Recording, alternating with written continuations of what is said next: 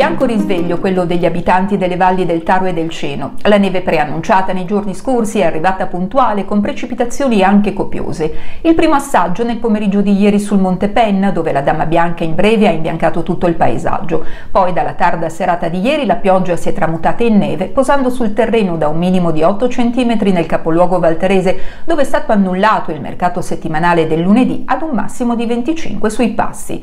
Gli spartineve sono entrati in azione da subito ripulendo le strade comunali e provinciali. Il peso della neve accompagnato da forti raffiche di vento ha fatto sì che diversi rami si siano spezzati cadendo sulle carreggiate. Soprattutto chi si è messo in viaggio molto presto questa mattina ha dovuto prestare la massima attenzione.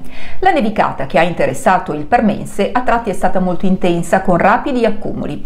In Valtaro il comune di Tornolo è stato sicuramente quello più colpito con 20 cm posati al suolo.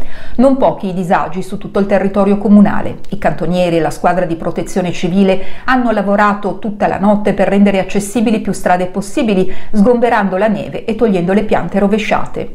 Notte di intenso lavoro anche per i vigili del fuoco di Borgotaro chiamati ad intervenire in diversi comuni del territorio.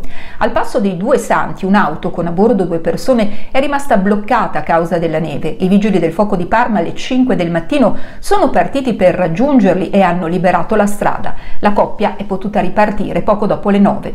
Per diverse ore tutte le televisioni sono andate in tilt come accade quando pioggia e neve fanno la loro comparsa ed energia elettrica a singhiozzo o addirittura assente. La nevicata di aprile ha interessato anche i comuni della Valceno, fortunatamente senza grossi problemi di circolazione.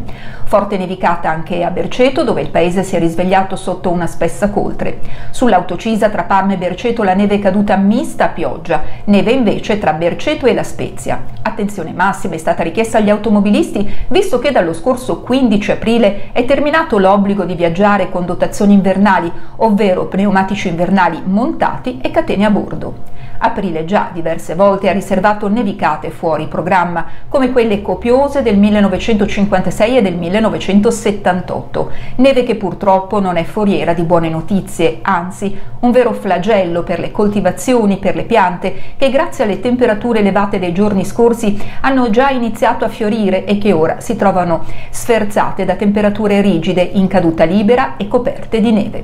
Domani temperature ancora rigide con la minima sui 2 gradi e la massima intorno agli 8 gradi e piogge previste per tutto l'arco della giornata.